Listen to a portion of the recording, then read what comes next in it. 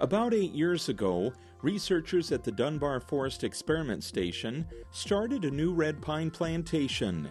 The key to getting red pine well established here is to get it planted in dry areas.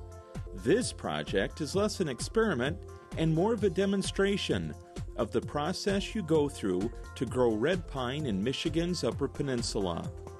Red pine is one of the native pines of Michigan, along with white pine and jack pine. And today it's a very valuable species for both the paper industry, sawn wood industries, and cabin and utility pole uh, operations. And it turns out that the soils here at the Dunbar Forest can grow red pine very rapidly. This research plot has red pine on it that are 81 years old. An experiment was put into this plantation 55 years ago. Some were thinned, and some were planted and left alone.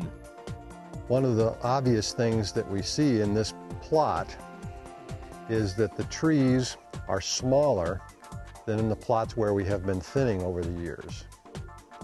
We also see a lot of material that's down and dead lying on the floor. Trees that have fallen over because they've died or broken in windstorms. And finally, we see that there are very little leaves left on the tops of these trees. The leaves, of course, are the part of the tree that makes the tree's nutrition. And if there are not a lot of leaves, the tree can't make much food and it becomes less healthy and more susceptible to insect and disease problems.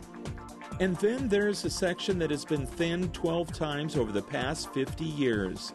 The differences between no control or thinning and this thinned plot are obvious. We have many different species regenerating. Here's a red oak.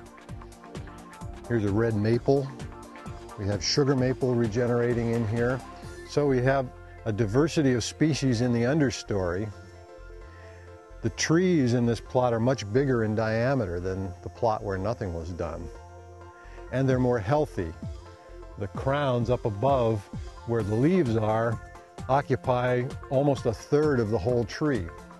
And what better place to conduct this important research than at the Dunbar Forest Experiment Station?